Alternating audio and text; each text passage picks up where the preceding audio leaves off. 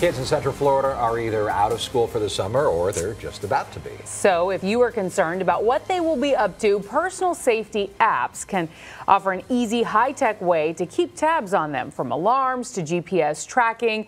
The apps market is now flooded with programs designed to save you from an attacker or just keep families in touch. News 6 investigator Lewis Bolden shows us how a few of them work. Left-right combination. Go.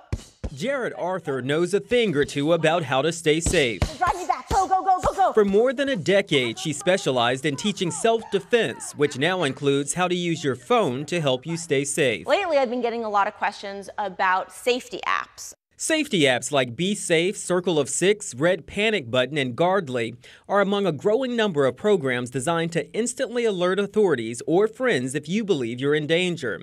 These particular apps all have similar features. They'll send your location to those people you designate as an emergency contact. With the free bSafe app, for example, if you press the SOS alarm, a siren will sound, flashlight will turn on, and your guardians will receive an SMS message. In that message, the contacts you've set as guardians will get a map of your location, video of what's happening around you, and your phone will even call your primary guardian, which can be 911 dispatchers. I'm going to put my finger right on the button, okay. and now I'm walking to my car. Jarrett likes apps like SafeTrack that notify police of your location when you hit a button. I get hit, I get tackled, I have to fight back, and I ditch my phone then that phone call is being made and the signal is being made automatically to the authorities. I've called 911. Cindy Yokoyama downloaded safety apps on her phone for extra protection. If I was alone and not without with, with my kids, I think I'd feel also comfortable having the safety app in one hand and one hand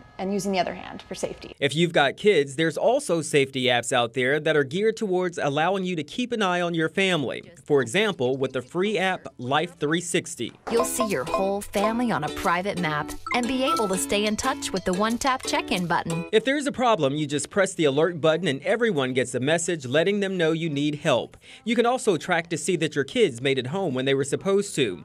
In the event of an emergency as we head into hurricane season, you'd also be able to let family members know you were safe, even if you couldn't get a call to go through. There are plenty more apps that offer safety features to choose from. Some are free and others have either a one-time fee or a subscription fee, whichever you decide works best for you.